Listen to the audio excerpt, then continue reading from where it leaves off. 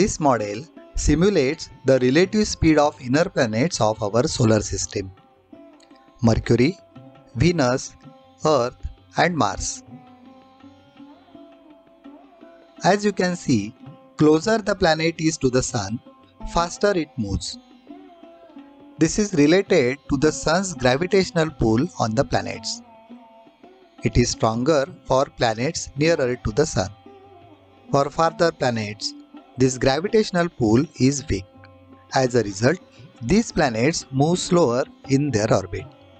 Different speeds with which planets revolve around the Sun is one of the reasons we see various astronomical events. Let us look at Mars, popularly known as Red Planet.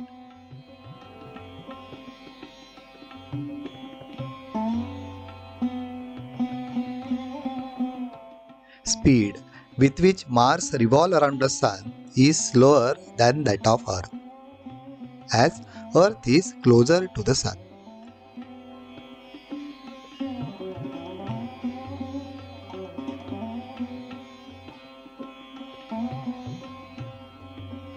Mars covers just more than half of its evolution when Earth has completed one full revolution around the Sun.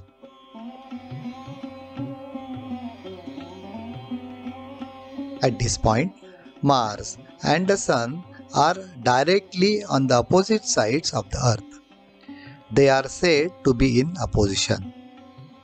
When in opposition, a planet is easier to observe because it is generally closest to the Earth and visible throughout the night. Planet's intensity is also very bright when it is in opposition as compared to its other positions in the orbit. Locations at which opposition takes place between Mars and Earth do change over the period of time. Mars opposition happens about every 26 months. The planets which orbits inside the Earth's orbit cannot be in opposition.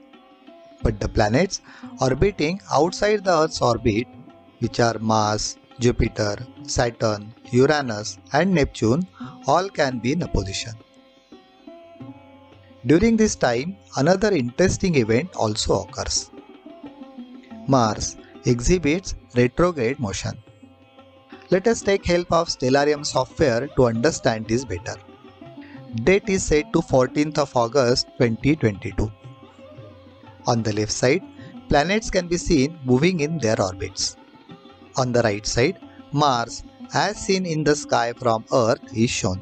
If we note the position of Mars at the same time every night, Mars appears to move from west to east from one night to the next. But from 30th of October 2022, Mars position from night to night seems to change direction and moves from east to west. This is just an illusion and can be attributed to the speeds with which Mars and Earth revolve around the Sun. This apparent erratic movement is called retrograde motion. The illusion also happens with the Jupiter and other planets which are in the outer orbit of Earth. Normal motion continues from 12th of Jan 2023. Pattern created by tracing this backward movement is not same every time. These are some of the patterns observed on similar occasions in the past.